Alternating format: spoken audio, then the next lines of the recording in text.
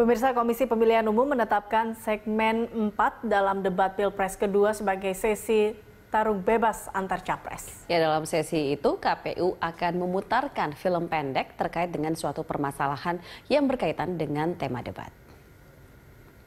Nantinya kedua paslon akan memberikan pandangan serta solusi soal masalah itu. Setelah itu moderator akan memberikan waktu bagi kedua pasangan calon untuk saling menanggapi jawaban masing-masing.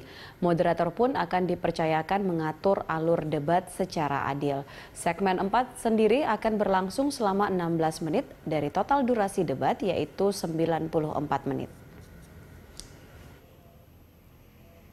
Gambar film tentang tema yang sedang terjadi. Jadi nanti uh, ada infrastruktur, energi, pangan, sumber daya alam, lingkungan. Kita ambil satu film, kita nggak tahu filmnya nanti yang infrastruktur, yang lingkungan hidup, yang sumber daya alam atau yang lain. Nah, gambar itu nanti oleh moderator masing-masing pihak diberi men, diberi kesempatan menanggapi, apa merespon atas gambar tersebut. Nah kemudian mereka saling mengomentari atau